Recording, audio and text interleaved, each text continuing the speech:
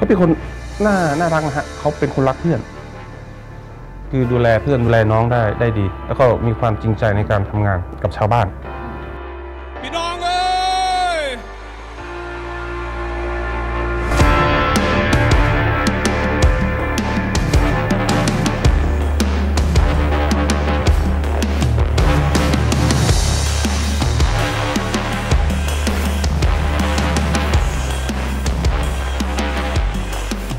ถ้าท่าทีการนำผู้นำมีลักษณะแข็งกร้าวมวลชนก็ต้องแข็งกร้าวตาม เอาประเด็นการเมืองที่เราชูนั่นแหละ เป็นตัวนำการเคลื่อนไหว ไม่ใช่เอาความรุนแรงปฏิกิริยารุนแรง มาบดบังสิ่งที่เคลื่อนไหวอยู่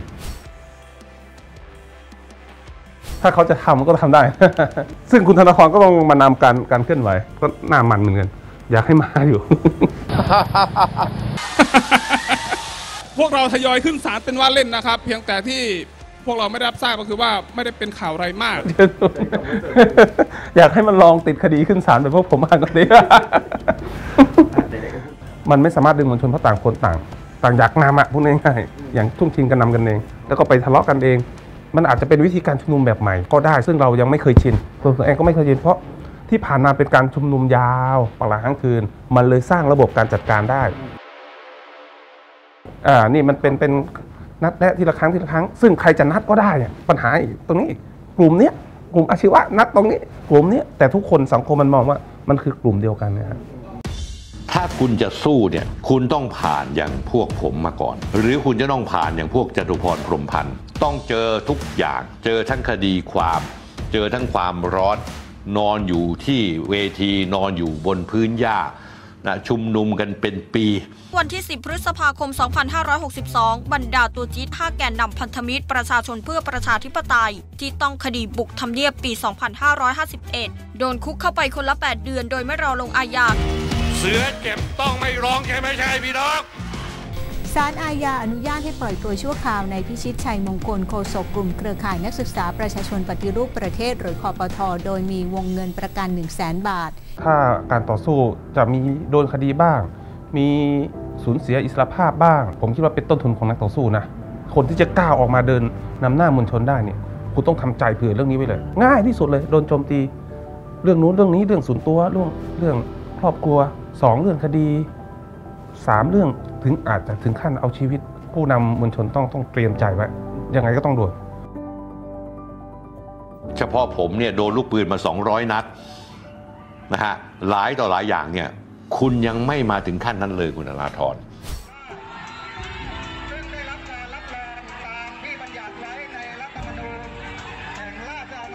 ชูเรื่องของการปฏิรูปการเมือง ชูเรื่องของการแก้ไขรัฐธรรมนูญยุบสภาเลือกตั้งใหม่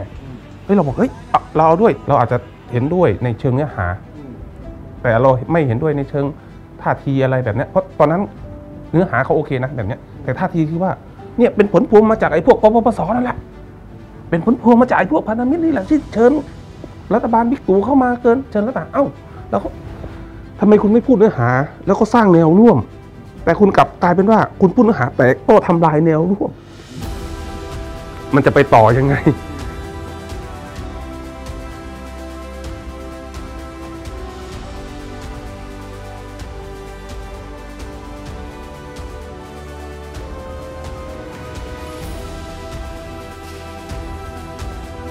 ผมคิดว่าคือทุกคนที่ที่โดนคดีคิดคิดถึงเรื่องนี้กันอยู่แล้วโดยปกตินะครับ แล้วก็แกนนำนี่คือทำใจในการที่จะเดินหน้า พิสูจน์ตัวเองในกระบวนการชั้นศาลเป็นสิ่งที่ที่ที่พวกเรายืนยันมาโดยตลอดว่าให้กระบวนการยุติธรรมเดินหน้าไปไม่ไปกดดันอะไรแบบนี้ เพราะว่าเรายืนยันว่าสิ่งที่เราทำเจตนาที่เราทำนั้น เป็นเจตนาเพื่อ ต้องการให้เกิดการปฏิรูปประเทศไทยในอดีต มันอาจจะมีความผิดพลาดมีความอะไรแบบเนี้ยก็เป็นสิ่งที่เขาฟ้องมาแล้วเรายอมรับแล้วก็ให้กระบวนการยุติธรรมเดินหน้าตัดสินยังไงพวกเรายอมรับอยู่แล้วฮะไม่ได้ไปวิพากษ์วิจารณ์ ถือว่าเป็นการเคารพกระบวนการยุติธรรม คือสิ่งที่ที่เรายืนหยัดมาโดยตลอด ตั้งแต่พันธมิตรด้วยนะฮะพันธมิตรก็ติดเข้าไปในอยู่ในเรือนจำเลยศาลพิพากษาผมก็เคย ก็เข้าไปอยู่ในเรือนจำแล้วก็ออกมา ก็มาต่อสู้อีก ในนามคอปทกับคอปสก็ ก็ยังมีคดีอีกหลายคดีอยู่ ยืนยันทุกคนที่โดนคดีว่า เราก็เดินหน้าพิสูจน์ตัวเองในกระบวนการยุติธรรม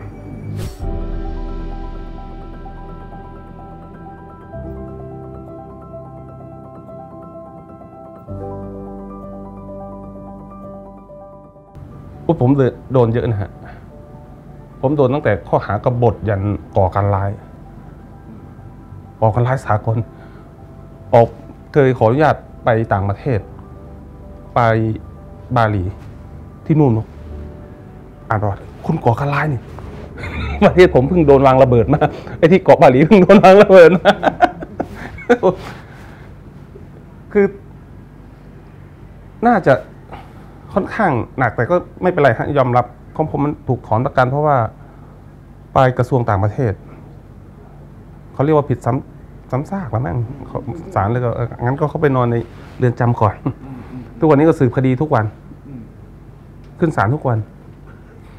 คืออาทิตย์ละอาทิตย์ละสามวันที่ต้องไปศาลเดินขึ้นเดินลงเดินขึ้นเดินลง เจอพี่น้องคนเสื้อแดง สวนกันไปสวนกันมา ทุกวันเนี้ยไม่ได้มองหน้าอะไรกันนะนะสายหัวให้กันคือ ชีวิตนักสู้อยู่แค่นี้แหละขึ้นลงขึ้นศาลขึ้นเข้าเรือนจำตอนสู้ก็เสียง ตอนสู้ก็ตอนเสี่ยงจบก็เสี่ยง แต่ผมผมว่าผมชินนะตอนผมจบก็เซ็งตอนตอนเป็นตอนเป็นนักศึกษาก็โดนมาแล้วไงอืมตั้งแต่เป็นรองเลขา สนนทแล้วผมไปโดนที่ท่อก๊าซไทยมาเลเซียที่ที่จะนะไอ้นั่นขึ้นศาลสิบห้าสิบห้าเดือน ทุกอาทิตย์อาทิตย์ละสองวัน แล้วผมเป็นคนกรุงเทพคนเดียวที่ติด นอกนั้นเป็นชาวบ้านที่จะนะ ทุกอาทิตย์เนี่ยผมเดินทางจากกรุงเทพไปขึ้นศาลเดินทางวันพุธขึ้นศาลพฤหัสศุกร์วันเสาร์เดินทางกลับมาทำงานที่กรุงเทพอยู่เงี้ยสิบห้าเดือนทุกอาทิตย์ ตั้งแต่เป็นนักศึกษาผมเลยรู้สึกชินแล้วเลยมั้งไม่ได้ไม่ได้ไม่ได้แค่ชินตัวเองนะมีความแตกต่างอยู่พอสมควรนะฮะหนึ่งคือเนื้อหาในการเคลื่อนไหว ในช่วงพันธมิตร มันเริ่มจากการตรวจสอบรัฐบาลนะ เริ่มจากการตรวจสอบว่าเอ้รัฐบาลคอร์รัปชันหนึ่งสองสามสี่ห้านำมาสู่การเรียกร้องเรื่องของประชาพิวัตรคือผู้คนออกมาปฏิรูปการเมือง มันไล่มาจากเอ้ยรัฐบาลต้องรับผิดชอบต่อเหตุการณ์แบบนี้แบบนี้ การทุจริตทุจริตเรื่องนี้เรื่องนี้ เมื่อรัฐบาลไม่รับผิดชอบก็นำสู่การไล่ ไล่เพื่อให้เกิดการปฏิรูปปปสเหมือนกัน นำมาสู่ค่อยค่อยพัฒนามา แต่ปัจจุบันมันมันโดดมาจาก ผมคิดว่ามันมันกระโดดเลยธงการเมืองมานิดหนึ่งในเฉพาะเนื้อหาท่าทีการนำก็แตกต่างกัน ผมว่าในอดีตมันมีการมีส่วนร่วมในการที่ปรึกษาเลยคือมีชั้นเชิงนิดหน่อย คือท่าทีของผู้นำไม่ได้ก้าวร้าวที่แบบคือถ้าสำคัญมากท่าทีการนำก้าวร้าวนี่จะทำให้มวลชนก้าวร้าวตามไปด้วย ซึ่งก็จะทำให้เกิด บางอย่างที่ไม่สามารถควบคุมมวลชนได้ แน่นอนมันมีความก้าวร้าวของมวลชนอยู่แล้วแหละตอนตอนพันธมิตรก็มี แต่อย่าลืมว่าตอนพันธมิตรเราประกาศผมประกาศ หลายคนบอกว่า แกนนำประกาศว่าเป็นสันติอหิงสานะ โดยเฉพาะลุงจำลองบอกอยู่เรื่อยสันติสันติสันติใช้ธรรมคือพูดย้ำความคิดแบบนี้ทำให้มวลชนว่ามวลชนเขาคิดตามว่าไม่ไม่ใช้ความรุนแรง แน่นอนมันอาจจะมีความรุนแรงปรับปราย แต่ก็ไม่เกินในสิ่งที่เราควบคุมได้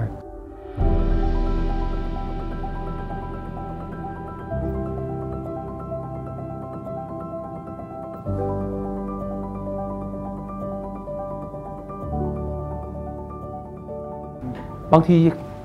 เขาอาจจะพยายามทำแบบนี้เหมือนกันแหละ คือใช้เนื้อหาในในการนำแต่มันถูกสื่อน้อยกว่าความรุนแรงที่เกิดขึ้น เพราะความรุนแรงมัน มันมากกว่าที่เกินควบคุมมาทำให้ สื่อก็ติดตามเป็นความรุนแรงของการเคลื่อนไหวณปัจจุบันไม่ได้ติดตามเนื้อหาเท่าที่ควร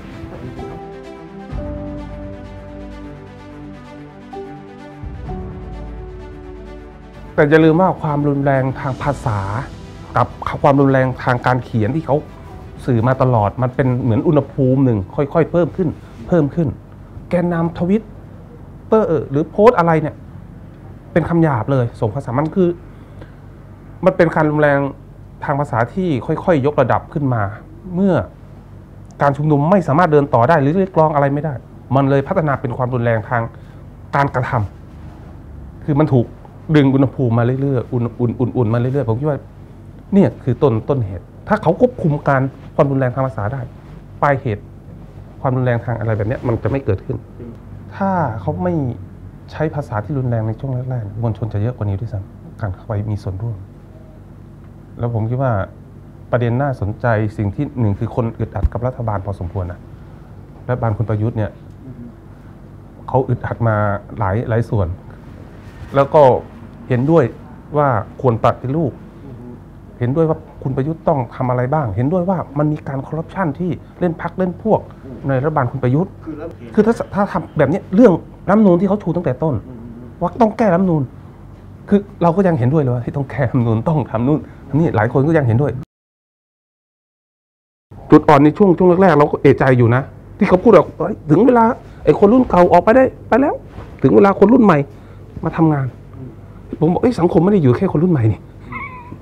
สังคมมีคนรุ่นเก่ารุ่นใหม่ทำไมไม่สร้างแนวร่วมให้มากกว่านี้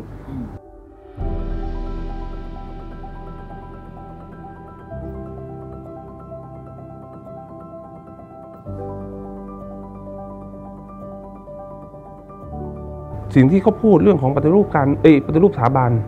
กับสิ่งที่เขียนในที่ชุมนุมมันขัดแย้งกัน ซึ่งคนมันมองออกมันมองเห็น ป้ายที่เขียนชูในที่ชุมนุม กับสิ่งที่แกนนำพูดเรื่องปฏิรูปสถาบันเนี่ยมันขัดแย้งกัน เพราะสิ่งที่ชูมันแรงกว่าสิ่งที่คำว่าพูดเรื่องของการปฏิรูป แล้วสื่อทุกวันนี้มันทุกคนเป็นสื่ออยู่ล้วถ่ายรูปทวิตอะไรแบบนั้นคือผมว่าอันเนี้ยมันอันตรายมันเป็นทำลายตัวตัวการเคลื่อนไหวเอง มวลชนไม่ใช่แค่ผู้ชุมนุมนะมวลชนในที่นี้ผมหมายถึงคนทั้งประเทศเนี่ยยังมีเรื่องแบบนี้อยู่ ยังยังมีความขัดแย้ง คุณจะปฏิเสธมวลชนที่เขาจงรักภักดีได้ยังไง พี่น้องประชาชนส่วนใหญ่นะยังจงรักภักดี ยังไม่เห็นด้วยกับสิ่งที่เขาเรียกร้องเนี่ย ซึ่งมันมันผมคิดว่ามันกลายเป็นความแตกแยกใหม่เลยนะครับมันไม่ใช่เรื่องการแตกแยกทางการเมืองแล้วนะอืมมันไม่ใช่เรื่องสีมันไม่ใช่เรื่องสีแล้ว ตอนเนี้ย มันมันจะเป็นความแตกแยกลึกรอยลึกของสังคมเลยเป็นเรื่องสถาบันละเรื่องความเชื่อ ไม่ใช่เรื่องการเมืองละซึ่งผมว่ามันเป็นสิ่งที่อันตรายมากในอนาคต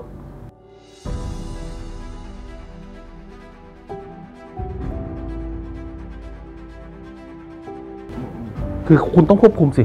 ถ้าคุณจะชูปฏิรูปสถาบันคุณต้องมีอะไรที่รองรับในเชิงวิชาการ คุณต้องควบคุมไอ้ป้ายที่ ที่ที่อยู่นอกเหนือจากนี้ด้วย คือถ้าคุณรักษามวลชนที่ออกมาให้ได้ ผมเสียดายพลังมากนะมวลชนออกมา แล้วเป็นคนรุ่นใหม่นะออกมาได้ ขนาดเนี้ยพลังเริ่มต้นนี่คือพลังที่ ตอนเห็นตอนแรกๆผมเฮ้ยโอ้คนรุ่นใหม่ออกมาได้เยอะขนาดเนี้ยต้องเคารพเขาเลยแหละต้องต้องแต่เผอิญเขารักษามวลชนไม่ได้ไงอ่าผมผมบอกไม่ไม่ผมไม่ได้บอกว่าเขาเขาไม่สามารถไม่ไม่สามารถนำไปสู่การเปลี่ยนแปลงได้ ผมมองว่าเขานำไปสู่การเปลี่ยนแปลงได้ แต่ต้องมีระบบการจัดการการชุมนุมการจัดการมวลชนที่ดี คืออย่างที่บอกอะ อย่าไปสร้าง คือลดความรุนแรง ลดความรุนแรงอะลงแบบนี้ลง อย่าไปใช้อะไรที่ที่ก้าวร้าวจนทำให้มวลชนเริ่มถอยห่างไปหลังๆมวลชนทะเลาะกันเองทำไมท่าทีแกนนำก้าวร้าวทำไมเฮ้ยเอามาแล้วทิ้ง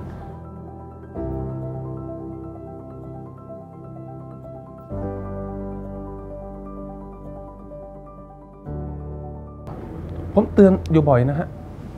ก็ได้พูดคุยกับรุ่นน้อง ที่เข้าไปทำกิจกรรม อย่างทนายนนท์แต่ตอนหลังมาไม่ได้คุยกันทนายนนท์ก็เป็นเป็นรุ่นน้องที่ทำกิจกรรม ชุดเดียวกับผมนะตอนผมเป็นกรรมการบริหารสอทเป็นเป็นเลขาสอทคุณอนนท์ก็เป็นกรรมการบริหาร ก็ทำงานร่วมร่วมกันมาก่อนหน้านี้ หรือน้องๆหลายคนที่อยู่อยู่อยู่ในนั้น คือก็บอกว่า เอ๊ะทำไมมันใช้ท่าทีที่แข็งกร้าว แล้วก็ประเด็นข้ามไปเร็วเกินไปหนึ่งคือท่าทีที่แข็งกร้าวทำไมไม่เริ่มต้นจากการเมืองที่ เริ่มคุณเริ่มต้นน่ะถูกแล้ว ตั้งแต่ที่วันที่คุณประกาศที่อนุสาวรีย์ชัยอะสามประเด็นอะ แก้รัฐธรรมนูนยุบสภาเนี่ยเราบอกเฮ้ยเริ่มจากตรงนั้นแหละพูดเริ่มจากตรงนั้นมวลชนจะเยอะมาก แต่พอคุณกระโดดมาเรื่องแบบนี้โดยที่มันกระโดดเร็วแล้วท่าทีที่ที่ที่แข็งกล้าวมันทำให้สุ่มเสียงก็พยายามเตือนเขาพูดคุยแล้วก็พูดคุยกับรุ่นพี่ ที่คิดว่ามีอิทธิพลกับเขา มันผมเคารพการเคลื่อนไหวอยู่แล้ว กลุ่มไหนออกมาเคลื่อนไหว คนแสดงออกมาผมก็เคารพ แต่เราทะคือมวลชนออกมาเนี่ย ยังไงเราต้องให้ความเคารพคนที่ออกมาเคลื่อนไหว แต่สิ่งที่เราวิจารณ์วิพากษ์วิจารณ์คือหนึ่งประเด็นท่าทีท่าทีสองประเด็นทางการต่อสู้ว่านำไปสู่อะไร อย่างคนกลุ่มคนชุดแดงเราก็เคารพแต่เราก็มีข้อทุ่งติงว่าสุดท้าย เพื่อช่วยแค่คุณทักษิณหรือไม่อะไรแบบเนี้ย ผมคิดว่ามัน มันเป็นความงดงามด้วยนะที่ที่มีคนออกมาเคลื่อนไหว ในเชิงการต่อสู้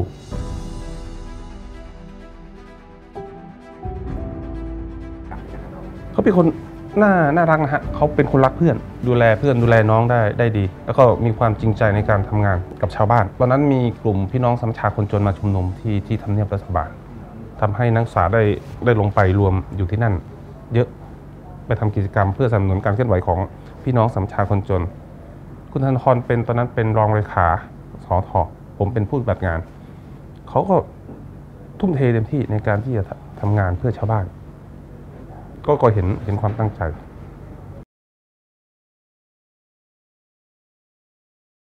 คือเรามองนักการเมืองตอนเราเราทำกิจกรรมนักศึกษาร่วมกัน กลุ่มที่เราทำเนี่ยมองนักการเมืองติดลบหมดเลยนะมองการเมืองติดลบนะเรามุ่งหวังการเมืองภาคประชาชน สร้างขบวนประชาชนเพื่อมามาทำการเมืองให้มันสะอาดด้วยซ้ำไป สร้างมวลชน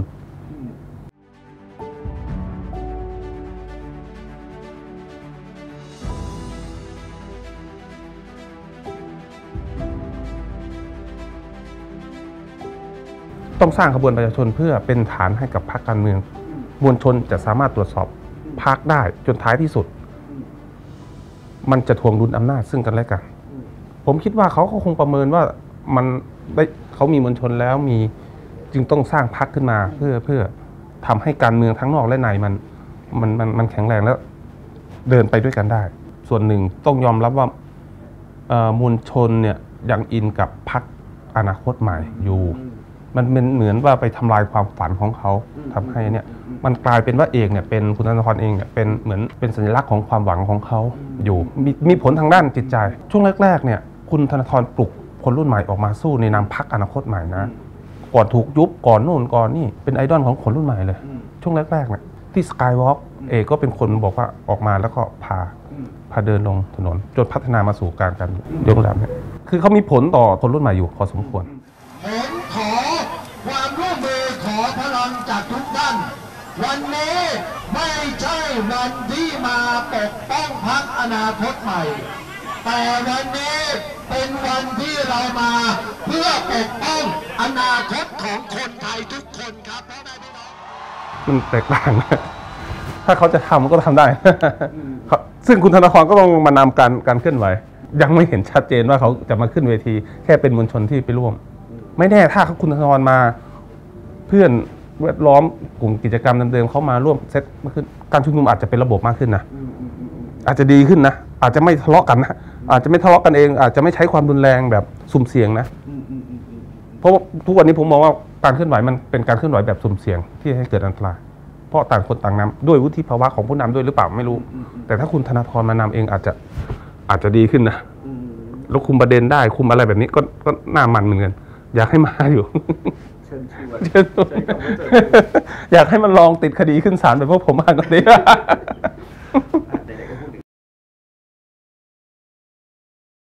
เออผมห่วงเรื่องท่าทีของเขานี่แหละฮะท่าทีการชุมนุมเพราะอย่างที่บอกอะท่าทีแบบนี้แข็งกล้าวแล้วมวลชนจะเอามวลชนมาอยู่แล้วมันไปต่อไม่ไม่ได้ จากมวลชนเคยเยอะ วันนี้มวลชนน้อยลง ผมว่าสิ่งหนึ่งที่เขาต้องทำคือสรุปบทเรียนแล้วแหละว่า มันเป็นเพราะอะไร เป็นเพราะท่าทีหรือเป็นเพราะข้อเรียกร้อง ซึ่งการชุมนุมของเขาเป็นการชุมนุมที่ง่ายด้วย ไม่เหมือนสมัยพวกผมคือมันชุมนุมยาวปักหลักของเขาเป็นการระดมคน สรุปที่ผ่านมามันประสบความสำเร็จอะไรขนาดไหน อาจจะเป็นส่วนหนึ่งหรือเปล่าว่ามวลชนอาจจะเริ่มเบื่อเอ๊ะมามันก็ไม่ได้อะไรคือเราเจอบ่อยตอนตอนชุมนุม ประกาศระดมพลคนมาแต่ไม่ได้อะไรไม่ไม่ไม่ไม่รู้สึกว่าได้รับชัยชนะ มาอีกละมาอีกละมาอีกละรู้สึกเหนื่อยล้ากับการเดินทางมา โดยที่ยังไม่ได้อะไรเป็นชิ้นเป็นอัน หรือเปล่า ซึ่งผมเรียกน้องน้องน้องต้องต้องสรุปบทเรียน ถ้าจะถ้าจะพัฒนาการชุมนุมต่อ ผมเสนอเขาช่วงหนึ่งช่วงที่มันรุนแรงมากๆ ผมบอกว่ากลับไหม กลับไปทำกิจกรรมในในมหาลัยก่อนไหมไปเซตระบบพูดทางวิชาการให้มากขึ้น ผมมั่นใจว่าเขาควบคุมมวลชนซึ่งกันและกันไม่ได้ ความรุนแรงจึงเกิดขึ้น ลองเซตระบบใหม่ไหมคุณไปทำกิจกรรมในมหาลัย ใช้ความว่าปัญญาชนอะมหาลัยเป็นพื้นที่ปลอดภัยด้วยนะ ใครก็ไปทำร้ายคุณไม่ได้ เมื่อพร้อมแล้วค่อยออกถนนใหม่เพราะออกมาตอนนี้สเปซสปะนะ แล้วไม่ใช่แค่คุณที่จะพูดเรื่องวิชาการ แนวร่วมนักวิชาการอื่นๆ ก็จะได้พูดเนื้อหา เพิ่มมากขึ้น มันจะลดความภาพความรุนแรงที่ที่เขาทำมาได้ แต่สิ่งที่แกนนำต้องยอมรับให้ได้คือว่า การเดินยอมรับสิ่งจากที่ตัวเองกระทำมาให้ได้ อย่าวุ่นวายกับสิ่งที่ผลงานตัวเองทำมาในอดีต ผมว่าเขายังมีเวลาที่ที่ต้องเรียนรู้อีกอีกค่อนข้างเยอะขอบคุณพี่น้องที่ได้เจอกันนะครับ มีโอกาสหน้าคงได้พบปะพี่น้องขอบคุณพี่น้องมากนะครับ สวัสดีครับ